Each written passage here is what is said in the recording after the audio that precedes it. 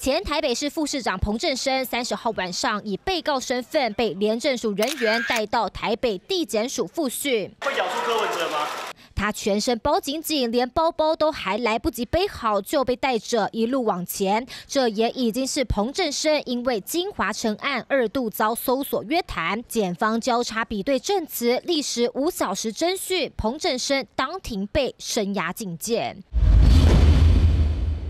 对比上回被约谈后无保请回的结果，简直天堂地狱一百八十度翻转。八月十二号，彭振生抖出关键证词，紧咬柯文哲，说是因为被市长亲自交办才会组成专案会议，但公文他不敢签。不过二度行动结果大逆转，法界分析彭振生可能有翻供，或是被掌握了明确犯罪事证。很显然。检方应该确实掌握了不少新证据，很有可能他的说法跟其他的共犯或证人有不一致的状况。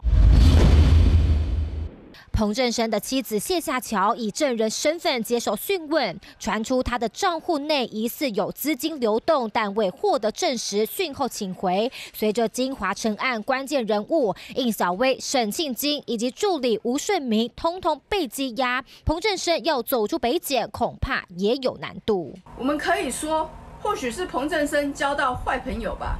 如果没有柯文哲前市长的交办，那么。彭振生怎么又会去违法？据了解，检方原先盘算要安排彭振生和柯文哲在侦查庭当面对质，但柯文哲拒绝侦讯，也让彭振生交保梦碎，还惨遭声压。三岁加明全图太报道。